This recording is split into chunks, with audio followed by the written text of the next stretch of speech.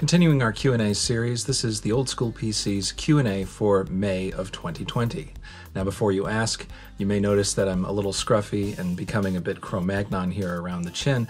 Uh, that's because I decided to take the time to see what my beard even looks like. I've never known what my beard looks like, and since I don't have to interact with anybody, at least not out in the real world, I figured now would be a good time to take a look. Uh, it turns out my beard is somewhat salt and pepper, a little more salt than pepper. So I don't know how long the beard experiment will last, um, but that's what's going on with that. Now, uh, this is a fairly long Q&A video. Uh, there are 12 questions, but they all have fairly complex answers. So for your benefit, I've put time indexes in the video description so that if you don't like a particular question, you can just skip to the next one. So with that, let's get started.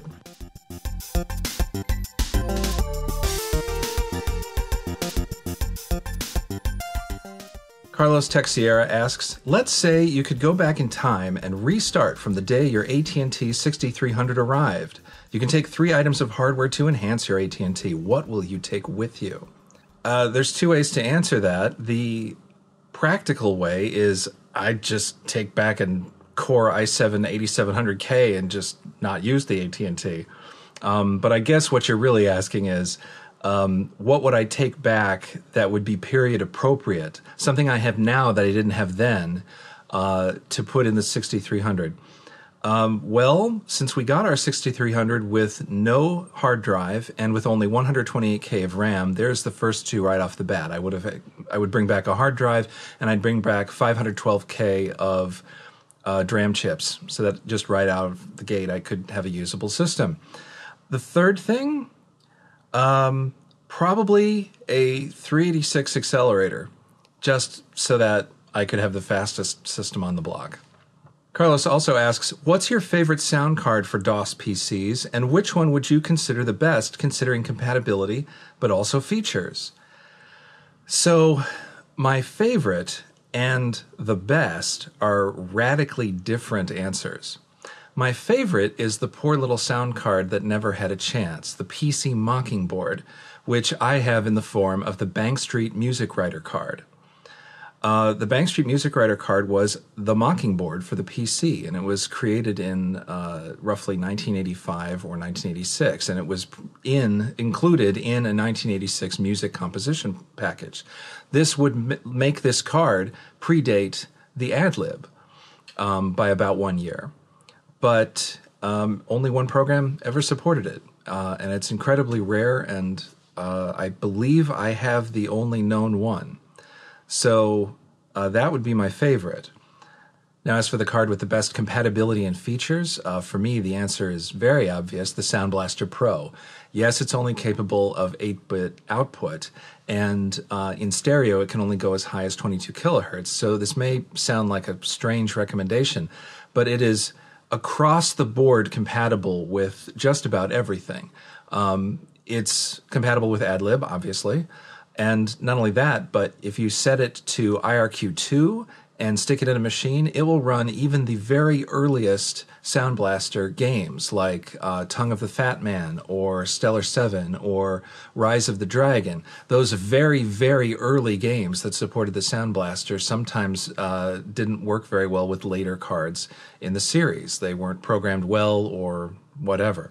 So that's in fact what I have in the XT behind me. Now, the actual use for a Sound Blaster and an XT is very limited, but I still hold that uh, for pretty much playing almost anything, as long as the card, as long as the game or whatever it is you're running doesn't need 16-bit output, um, the most compatible card you can put in is a Sound Blaster Pro. Brassic Gamer asks, if the IBM PC was equipped with an 8086 instead of an 8088, what would 8088 miles per hour be able to do that it can't do on an 8088, and what would the demo have been called instead? That's an interesting question. The 8086 is slightly faster than the 8088 at the same clock speed because it has 16 bit access to memory instead of just 8 bit access. So a single word read can be done in four cycles, as opposed to on the 8088, you have to break it up into two word reads, which takes eight cycles. Uh, it also has a slightly longer prefetch queue, um, probably to compensate for that. It's six bytes instead of four bytes. To be honest, though, it probably wouldn't have made too much of a difference. The speed difference between the 8086 and the 8088 is rather slight. It wouldn't have helped at all for any of the uh, multicolor stuff that we were doing. It wouldn't have helped at all with the raster bar effect that we had near the end. Um, if I say Kefren's bars, somebody's going to get mad at me, so I won't say Kefren's bars. Um, it would have slightly enhanced the speed of the rotozoomer, the most, I think, because that's a very memory heavy effect. Um, might have given it one more frame per second, but really not a big deal. And as for what would the demo have been called? Probably 8086 feet underground. Probably. Root42 asks, why does the VGA write modes not support a transparent color? What was IBM thinking? Well, uh, I know why he's asking that. It's because he's currently going through a VGA programming series on his own channel, link in the description. And um, honestly, I think it really just kind of comes down to the B in IBM. IBM is International Business Machines, not IGM, International Gaming Machines. Uh, the video hardware for VGA was designed for what business people needed, and they needed high resolution for graphs, and they needed high colors for uh, product demonstrations or presentations or something like that. And they uh, wanted to keep the cost down. So while you do have kind of transparency in 16 bit planar mode, I mean, if you just simply don't write to a plane, or if you're writing a, something to the plane that you know has a hole in it, um, that doesn't show up. Although you have to arrange your palette properly to make sure you're not mixing colors or something. I mean, that's technically a transparent write, but um, I know what you mean, and it's just simply because IBM was trying to make a business-oriented graphics card uh, as cheaply as possible. Pietro Caruso asks several questions, so let's take them one at a time. How did you learn to program on MS-DOS? Uh, slowly and appropriately within the time frame I grew up in and those machines existed in. I started out learning. I actually started out learning Logo on an Apple II, so that's that's not the best answer. On the PC, the first language I touched was the built-in BASIC, and from there, I wanted f- my programs to run faster, and I wanted uh, cool features in the editor like syntax highlighting. So I discovered and used Quick Basic, and then when Quick Basic wasn't fast enough, I saw what some of my friends were doing in advanced programming courses in high school, and they were using Turbo Pascal 4 at the time. Um, three and four, it depended on which of my friends I knew I was interacting with. And uh, Turbo Pascal just kind of that's what really lit the the fire under my butt because I looked at it and I'm like, I understand this. Like Turbo Pascal was created Pascal was created as a learning language and it's effectively you know executable pseudocode. Like it's very readable. So i really took to that. And i loved the turbo pascal ide which lets you single step through your source code and, and watch variables and set conditional breakpoints. It's a wonderful environment and then when Turbo Pascal 7 came around, and I learned that you could inline assembler as well as link to assembler modules, and I'd been dabbling with assembler there because I'd been taking uh, simple programs, very small little COM files, and uh, disassembling them or looking at them in debug and just slowly teaching myself assembler. I mean, that was it for me. So um, it's just, it was a slow, iterative process. And, uh, you know, if you're interested and you're driven, um, you can do it too. It's, I know that programming for MS DOS today may seem like some arcane thing that no one wants to do um, or that no one can tell you how to do. But if you just simply have perseverance and look through old materials, you too can teach yourself how to program for MS DOS systems. His next question Which is your programming language of choice for DOS? Well, I already answered that. Uh, it's Turbo Pascal plus assembler. Uh, the more programs I write in that environment, the more assembler they are and the less Pascal they are but uh, it's just it's a great environment. I mean, that environment is so cool. The Turbo Pascal 7 IDE is so cool that you can write uh, an external module in assembler, uh, assemble it from the IDE. If there's an error in the source, it will direct you to that error in the source, in the IDE. And then later, when you're single stepping through your Pascal program, if you happen to branch into the assembler part, it will pull up the assembler line and you're single stepping through assembler. And there's a register window in the corner that shows you your registers and your, your instruction pointer. And I mean, it's a one stop shop for writing performance oriented applications on MS DOS. And I always wondered why their Turbo C and Turbo C products weren't as cool as that. But uh, yeah, Pascal plus assembler. Which is your favorite DOS computer in your collection?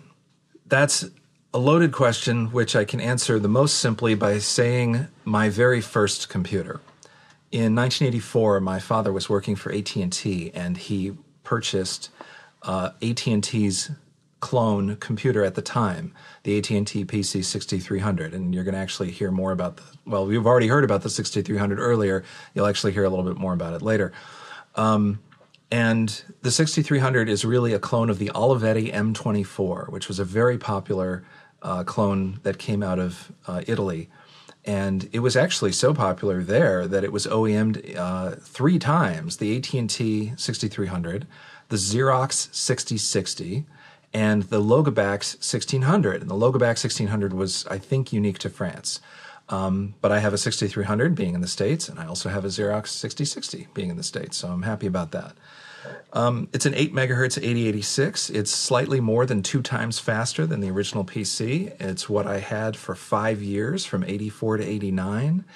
And I have very fond memories of that machine, and it pretty much gave me the career that I have today. How did you become a demo scener and or join the demo scene? So what happened with that whole timeline? Well, I was always fascinated by uh, track. I've always been fascinated by creating music on the PC because the PC back in the 80s is such a non music friendly computer um, that anyone who did manage to do anything with it that was cool was a god. And I wanted to disassemble everything and figure out how it all worked so I could do it myself. Um, so that's what got me fascinated in Track Blaster in 1990, a very early, if not the probably the first mod player for the PC. I believe that's right. Um, and then in very late 1990, if not the first week of 91, uh, downloaded Space Pigs Mega Demo and f- discovered the demo scene, read the info file several times, and then went to try to find other demos on BBSs and then around 92, I started making BBS intros in exchange for higher ratio or download credits on those BBSs, uh, if you remember what that is. And then uh, in 93, a lot of things happened, 93 and 94. Uh, my friend Brian and I tried to make a clone of Panic by Future Crew, and we didn't get too far, but uh, we had a lot of fun doing it. Uh, we created the Grind Music Player, which is a mod player that for at least for techno or electronic mods that are you know four to the floor uh, displays people dancing in time to the music.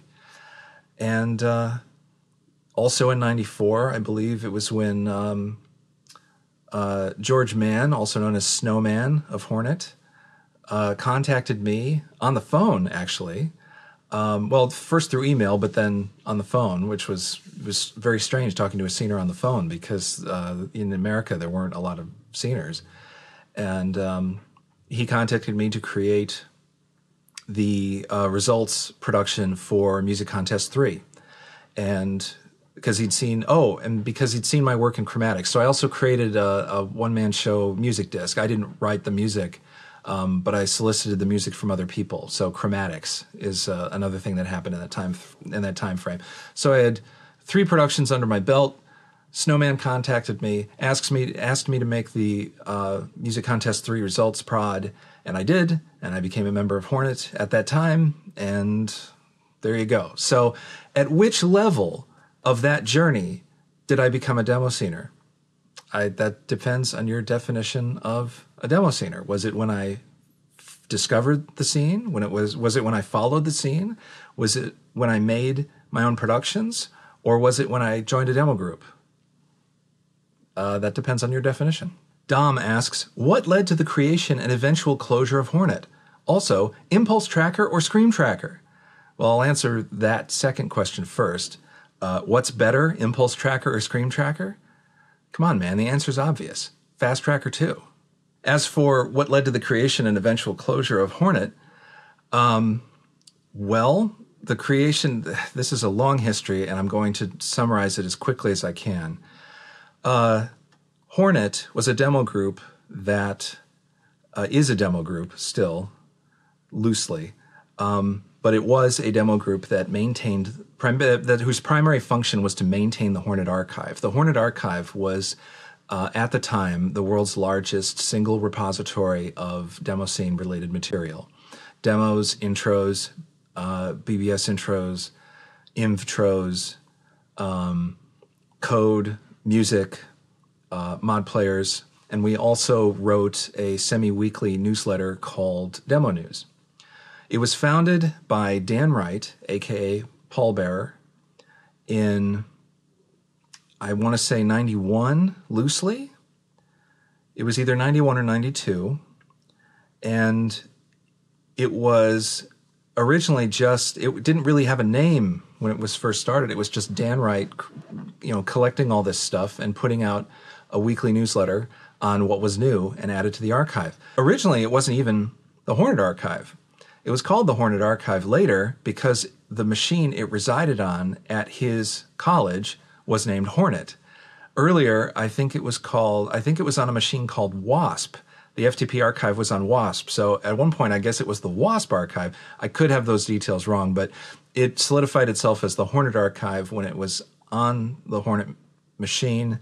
And when um, Snowman contacted Dan Wright because he really loved what they were doing, and I think he was also in college at the time and also had a fast internet connection to the FTP server.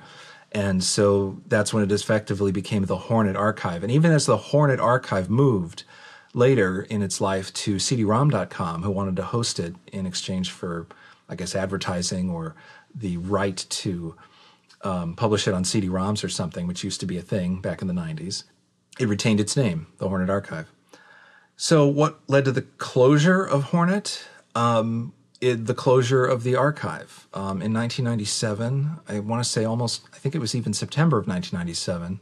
All five of us at the time who were still actively maintaining it. At the very end, I think it was me. I hope I have this right. If not, I think Phoenix will correct me.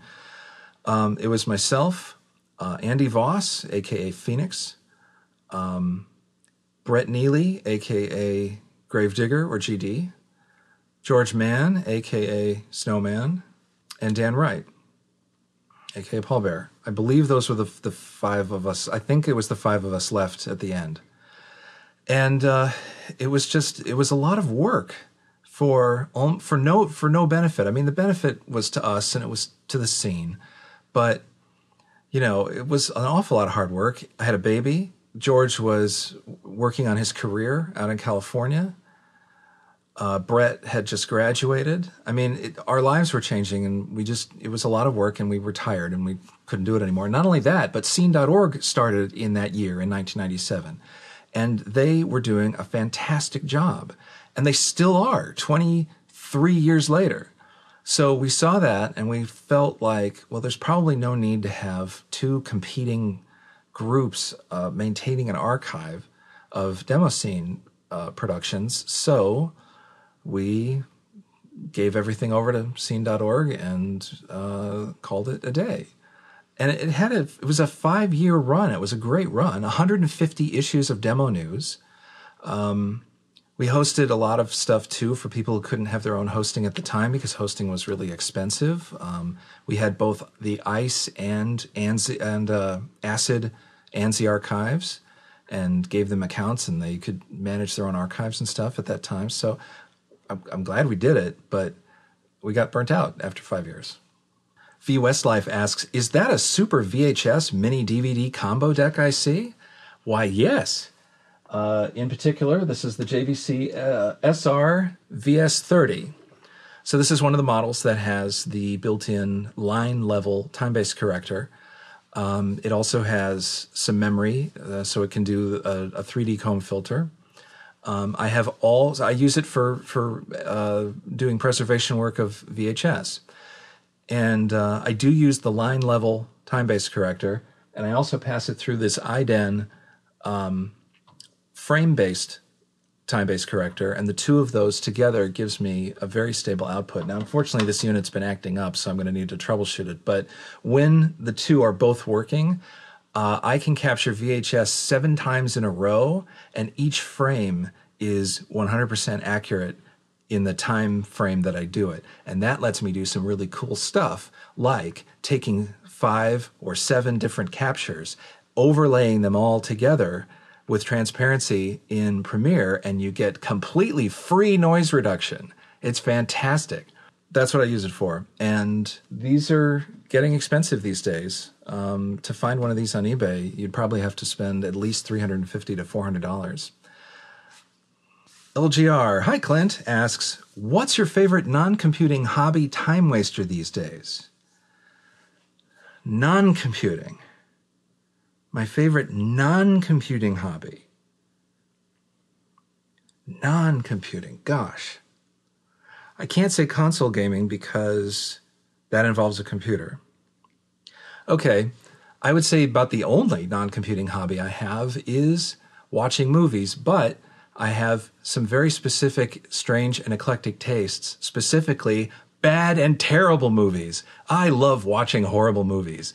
And it's for a variety of different reasons, whether it's a vanity project from uh, Neil Breen or uh, Tommy Wiseau, or it's just simply low budget, or it's utterly idiotic uh, story decisions, or uh, cashing in on a fad at the time, like uh, like what like vector man i think that's the name of it which is like this whole stupid virtual reality film with almost no budget and terrible graphics from 1996 i get a certain joy and i don't want to call it a perverse joy. Um, i think it's more of a joy of they really tried hard and look how badly they failed but at least they tried. So uh, yeah watching bad movies is one of my one of my hobbies Dan G asks, Do you remember Baygles from Heaven? And does anyone still have a copy of it?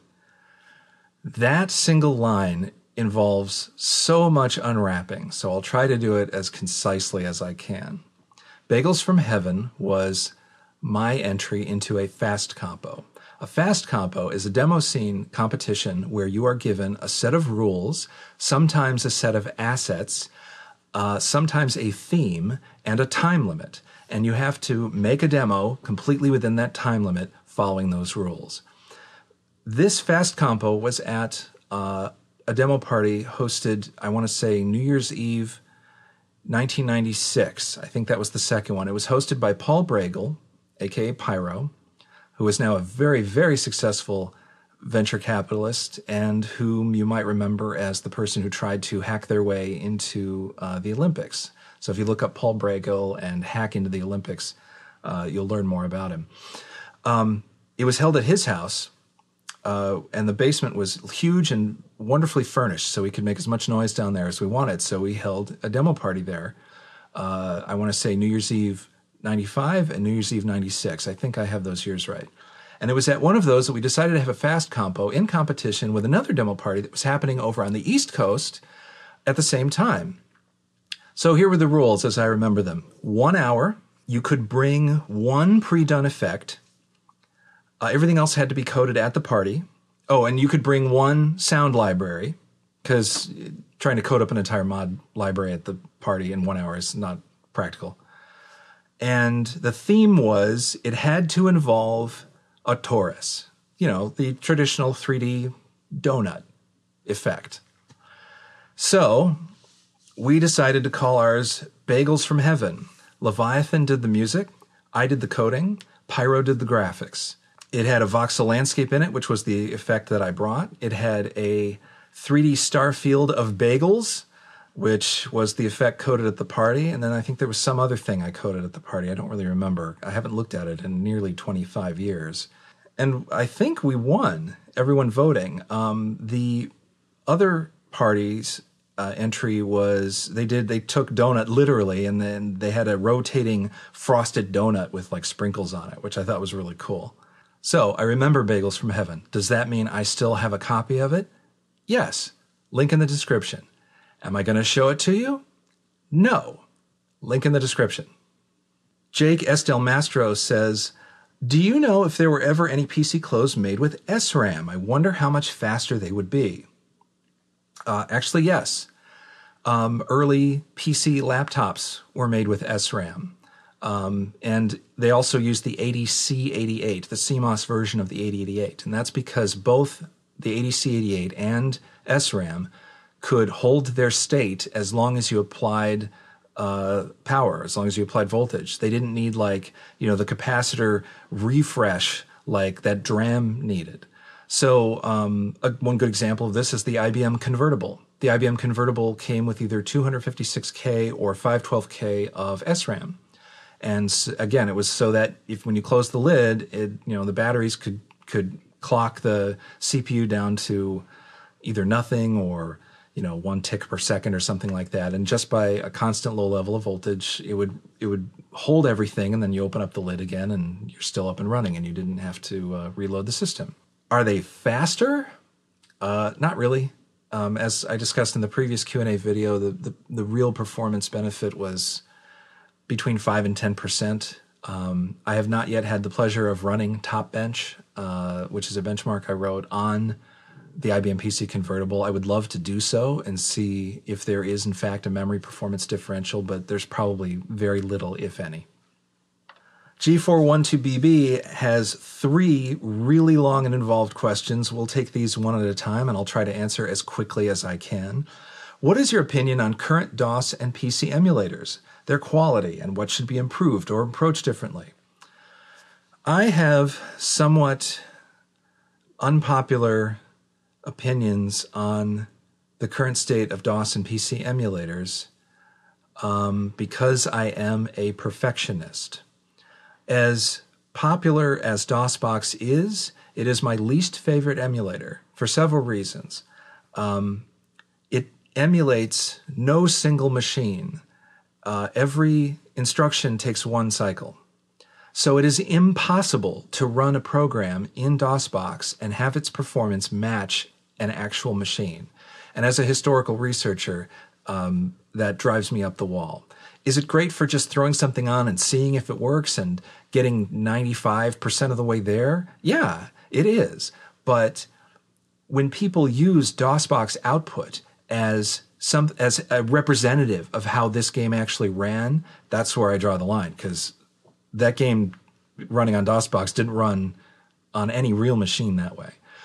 Another thing that really drives me nuts about DOSBox is that they've stopped updating it practically 10 years ago. There's a lot of stuff constantly contributed to the SVN, but there hasn't been an official release, and people have gotten tired of waiting, and they've put lots of features into their own forks. There's DOSBox X, which is actively maintained, and I actually recommend that one. But there's other stuff too, like the SVN and SVN Daum versions, and I mean, there's like 15 different forks of this stuff. Some with uh, the Munt emulator included, some without it, some with ROMs included, some without. And it's that makes it very difficult to tell somebody, go here, do this, and your game will run because there's so many different forks of it, all in various states of completion. So the DOSBox ecosystem really frustrates me. The best emulator I recommend to people who want to try to match an exact machine currently is 86box. 86box is a fork of PCEM. I'll leave a link to 86box in the video's description. 86box is the most accurate when it comes to uh, 8088 emulation because it runs an 8088 core developed by one of the 88 miles per hour demo coders, Andrew Jenner, also known as Reenigne. And uh, we created 88 miles per hour to try to spurn people to write better emulators. And when nobody did, we had to do it. so Andrew did it, and his core is in 86box. And as a result, it has the highest compatibility out of any emulator running that demo. But that's not the real reason uh, I recommend it. I recommend it because just overall, it's a great demo. Uh, I mean, it's a great emulator, and um, they uh, don't care at all about the legal ramifications of distributing ROMs, which I'm totally on board with because if you're emulating systems that are 30, 35, 40 years old, um, a corporation's ability to uh, have any form of economic recovery from shutting you down uh, is gone. I mean, you know, the, the ROM BIOS of the IBM PC is beyond economic recovery at this point. And 86 Box just links you right to a pack full of ROMs. You grab it, you throw it on 86 Box's directory, and you're good to go. Now, the only thing that I don't like about 86 Box is that it uh, has no file system integration like DOSBox does. So it's still a very frustrating process to build, put stuff in a floppy disk image or a hard drive image and then mount it in the emulator. And then if you want to add something, you got to shut down the emulator and change the images. That's frustrating, and I hope that someday they'll come up with something, either a, a, a NetBIOS redirector or, um, you know, or file system integration. But in terms of accuracy, uh, 86 box is currently what I'm recommending. Next question Can you share and show some of your more unique software from your collection, or maybe give a tour of your collection? Giving a tour of my collection is a subject for a video all unto itself. So uh, I'm not going to do that. Um, maybe I'll do that in a future video. But uh, can I show some of the more unique software for my collection? I can. So hold on one second and I'll be right back. Well, I'm back. I spent five minutes looking through my collection and pulling out some interesting stuff, at least interesting to me. I don't know if it'll be interesting to you, but let's take a quick look. First of all, of course, uh, Planet X3, which uh, holds a special place in my heart, not merely because it's a really great new production for old machines, but also because I helped write it. And my version has a special note from David Murray written on the manual, so it is very unique to me. Uh, another is Space Racer. So, Space Racer is one of the most pirated games for the PC and probably so pirated that almost nobody has this. Um, Space Racer and WibArm, and I think one or two other titles uh, from Broderbund in 1988 all had this kind of packaging. Uh, it took me a very long time to find this. Uh, it's in mint condition. There is nothing wrong with the box, and it has its original shrink wrap. And that meant a lot to me personally because this title meant a lot to me personally when I was uh, growing up. It demonstrated very long stretches of title music through the PC speaker. Playing any real sound through the PC speaker was amazing, but this was essentially a one channel mod that, with only 96k of data, played music for a good 90 seconds. And so that meant a lot to me. One of the rarest things that I have, uh, and it's tangentially game related, is the Graphics Magician. Now, for people on the Apple, this is a very popular, well known product. And it allows you to create vector graphics, and then you can use those vector graphics in your own productions. And in fact, a lot of games, such as Transylvania from uh, Penguin Software, um, used the Graphics Magician. So, why is this version, if it was so common on the Apple, why is this version rare? That's because this version is the PC version. There were less than a thousand of these ever made. And uh, when I spoke to Mark Pelczarski, uh, gosh, two decades ago, he barely remembered the PC version and couldn't, you know, couldn't tell me if any had actually ever been sold. Well, clearly one has been sold because I'm holding it. And uh, it's interesting in that it creates graphics that are actually not compatible with the Apple II playback routine so it's not cross compatible, which is also strange. And even stranger is that although the Graphics Magician came out for the PC, none of Penguin Software's games actually used it. All the graphics in Penguin Software's games, from the Spy series to the PC version of Transylvania and the Crimson Crown, all used graphics made with the Apple II version of Graphics Magician. So, uh, and then finally, we have something that uh, fostered my my love of programming on the PC uh, at an early age. Icon Quest for the Ring. This is a medieval mythology kind of a game uh, with overhead graphics, but what makes it really special is that it uses a very highly tweaked text mode. Uh, it takes 40 column mode and then it shrinks the cell characters from 8 pixels high to only 2 pixels high And then that way you have these fine rows of text characters on the screen, and you can actually use the text characters to make graphics. So it's effectively a 320 by 200 by 16 color graphics mode with a lot of limitations out of a stock standard CGA card. And uh, this is exceedingly rare. Um, I only know of two other people who have this. Mine was unfortunately uh, damaged by the post office. Thanks, post office. Um, but I was very happy to get this. If you've ever seen Icon Demo, uh, that's what this. That's the game that Icon Demo was promoting. Uh, and I also have, uh, almost as rare, its sequel, Seven Spirits of Ra, this time published somewhat properly by Sir-Tech. And um, it's more of the same, although this time it has an Egyptian mythology bend. And uh, they're really cool games. And I actually wrote, I actually interviewed uh, the two people who made these games. Uh, they worked under the company called Macrocom. And uh, I will link to that interview uh, in the video's description. Finally, G412BB asks, uh, same as B, but for hardware. Show us some of your prized possessions. All right, well, Give me a second and I'll be right back. Okay, I'm back. So I managed to pull three things out that mean a lot to me. Um, and they're also somewhat uncommon, and one in particular is so rare that it's the only known one in the world. Uh, the first thing uh, that I would like to show you is my Periscope board. Periscope was a company that made debuggers for the PC, and they came out with a hardware product called the Periscope board.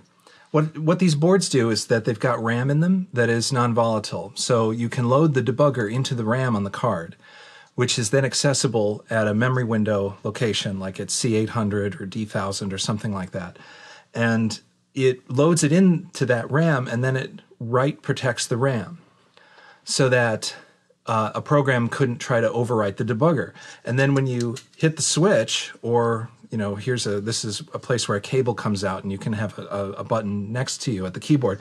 When you hit the switch, it uh, triggers the non-maskable interrupt, which then is routed to this card, which then goes to the debugger on the card.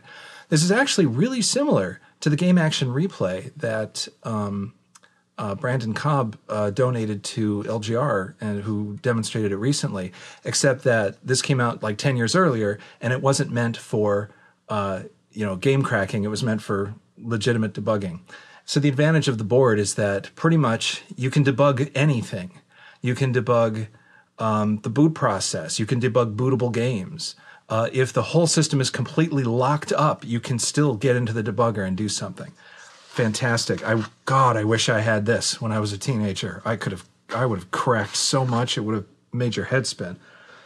Uh, the second thing is my AT&T 6300 display enhancement board. Now there's a lot to this and it's very involved. So um, I'm not sure how much uh, I can pull out and show you. It's actually a series of cards here. Let's see. Let's pull this. I'll just pull out the big one, I guess. Still in a an electrostatic bag. Uh, the display enhancement board was an early enhanced graphics standard for the Olivetti M24, and uh, it comes with a companion board. I'm not. I have to read the instructions. I'm not sure if this is uh, to be installed alongside it or uh, or something, but. Um, it installs and com- and complements the display adapter inside an Olivetti M24 or 6300 or similar. And what the DEB does is it creates sort of EGA like graphics so uh, the Olivetti M24 can display 640 by 400 in two colors. With a DEB, it can do that in 16 colors. It can also mix text and graphics together. And it also has a cute little feature where you can define a pixel as two of the available 16 text colors, and it will flick between them at, a, at an interval up to the refresh rate of the monitor. Um, blinking doesn't seem very useful, but at the refresh rate of the monitor does seem useful because uh, for certain combinations that don't flicker too badly, you can essentially have more colors. The big feature that they were touting really was the mixture of text and graphics uh, for presentations, but um, I just want to see uh, if I can get that color thing going. Um, very few programs supported the display enhancement board. Uh, it's exceedingly, it, it, didn't sell hardly at all. And um, the only programs I know of that really supported are things like, uh, I think Gem has an adapter for it, and uh, Dr. Halo and or PC Paint. And I think that's it. And then the my, probably my favorite piece of hardware and the rarest thing that I own, and there's only one of these known in the world, is the aforementioned PC Mockingboard, aka the Bank Street Music Writer card.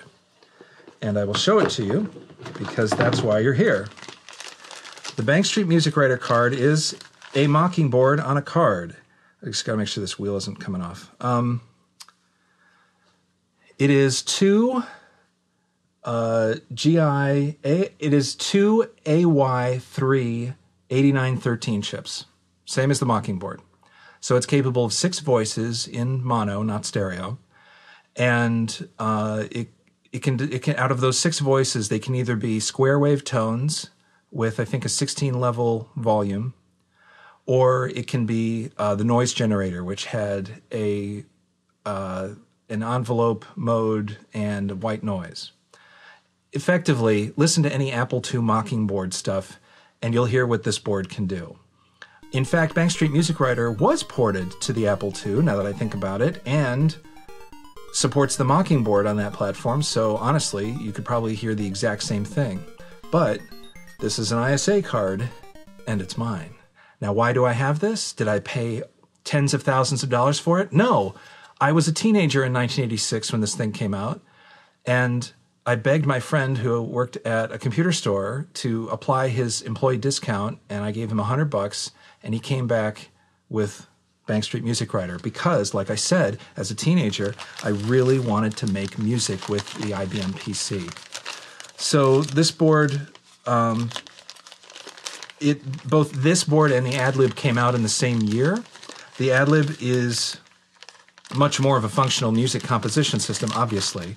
And in fact, that's how it was exclusively marketed uh, for like the first two years of its life until game developers finally started using it for games.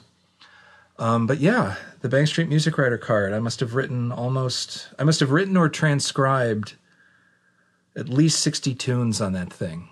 Garguy asks, I thought of another fun thing that could be fun to talk about hard drive parking. I remember from the olden days having to run park.com just before you shut the PC down because the drives didn't self park the head and would damage the drive if you didn't. Seems quaint now and probably worth a mention just for the curiosity factor. I agree. So, in the early, early days of hard drives, meaning before I was born, like the late 1960s, hard drives were they were made out of huge platters and were very heavy and had very uh, they generated a lot of gravitational force when they spun. And uh, if the arm came down into the platter, not only did you run the risk of losing your data, but like massive damage to humans and equipment could occur. So when they were moved, they had a position to park the heads, a parking area. And you would manually move these heads and then, like, I'm not kidding, like latch a bolt on the bottom of the unit to lock the arms in place so that you could move the unit without damaging it. Later on, when hard drives became small enough to fit into desktop computers, you know, think late 70s in the Shugart area of drives, parking still needed to be done, but this was no longer a user operation. The drives were stuck inside the machine. So, how do you park the heads before you move a hard drive? You run a little program, and the program moves the heads all the way to the end. Now, the proper way to do parking is all MFM and RLL drives, and I think a lot of early SCSI drives too. They actually have an extra cylinder called the engineering cylinder. So the drive could state that it had, you know, 913 cylinders, but in fact it had 914. And the engineering cylinder was where you were, it was like a scratch cylinder. You were supposed to be able to use it for testing low level formatting, or as scratch space for, you know, if you wanted to move something off of a cylinder, screw with the cylinder and then move it back. The engineering cylinder was there for you for that. And that is also typically where you were supposed to park the heads, because if the heads did crash down, you were only damaging the engineering cylinder and not the previous cylinders where your data actually was. That's what Park.com is supposed to do, and what all other prior programs like this. In fact, actually, programs prior to Park.com used to be called Ship, Ship.com, because you would run that prior to shipping the machine somewhere else. Uh, Park.com, very specifically, uh, if I'm thinking of the same one, is the version that was included with SpinRite. And uh, it was popular to throw around because it was a tiny 510 byte program that fit in a single sector, didn't have any copyright notices, and uh, wasn't copy protected. So Park.com from SpinRite is probably the one that you remember running. Does it go to the uh, engineering cylinder and park the heads there? I've never actually disassembled it, so let's disassemble it right now and take a look. Okay, so I've taken park.com and from SpinRite 2 and I've put it into IDA and disassembled and commented it a little bit. And uh, it doesn't take very long to see that it's doing, in fact, what it should be doing. Uh, first, uh, through an int13 call, it gets the current drive parameters, which includes the number of cylinders, which it doesn't state so in this comment, but are actually the number of cylinders are stored in CH. Then, uh, after adjusting for whether or not it should say you have a drive or drives, um, down here you can see it incrementing CH, which is increasing the number of cylinders reported by one and then it issues another int13 call to seek to a specific cylinder. So it looks like it's doing what it's supposed to be doing. It grabs the total number of cylinders and then tries to seek to one past that so that the heads are landing on the engineering cylinder. And then uh, another nice thing that Park.com does is that it uh, waits for a key press before exiting to DOS. And that's wise because DOS allows you to set the prompt to something like um, I mean, the common prompt is um, dollar sign $P, dollar sign $G, which is the path and then the greater than symbol. And if you you could get yourself in a situation where uh, hitting a key and going back to DOS would run through that prompt, and because the prompt says what's the current directory, it is very possible that a hard drive seek could occur to retrieve that information, and now your heads aren't parked anymore. So Park.com waits for a key press uh, so that you can run it and then immediately hit the power so that you know that your heads are still parked. So, uh, very short, sweet, to the point, competent program. I love that. Thanks for all the questions. These videos are really fun for me to make. More importantly, they help me get out content in a regular release schedule, which is important to people who want to see more from me. Um, helps me not get stuck in a rut. So I appreciate the questions. If you have any questions that you'd like me to answer about the demo scene or software preservation or anything within the scope of things that I'm known for, please feel free to leave a comment in this video's description, and hopefully I'll be able to get to it in next month's Q&A video. Um, if you'd like to support what I'm doing, I have a Patreon, link in the description if you'd like to check that out. There's a little bit of exclusive content there as well. And uh, until next time, uh, as you can see, we're all getting shaggier because of self quarantine, so I'll say the same thing. Please be safe, uh, be well, and thank you for watching.